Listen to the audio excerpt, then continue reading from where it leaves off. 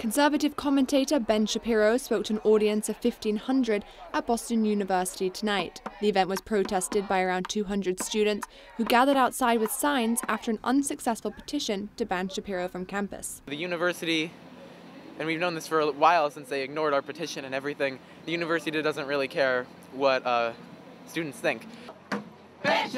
Shapiro commented sarcastically on students' efforts. Thanks to Boston University for ensuring that this event could happen, despite a change.org petition that people signed, and it was very intimidating.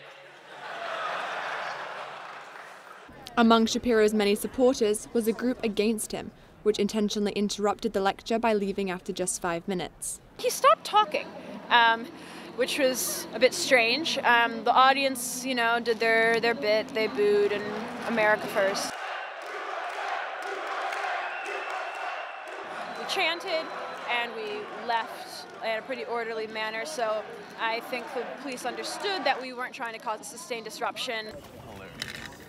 The title for Shapiro's lecture was, quote, America wasn't built on slavery, it was built on freedom, end quote. Many students expressed their opposition to it. Hey, hey, ho, ho.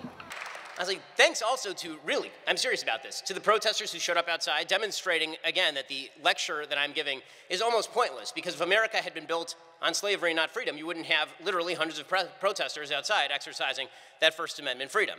freedom? The BU chapter of activism organization Young Americans for Freedom hosted his appearance to promote conservative values on campus. I think Shapiro's arrival on campus is hopefully the beginning steps of allowing for more discourse, more varied discourse on Boston University's campus.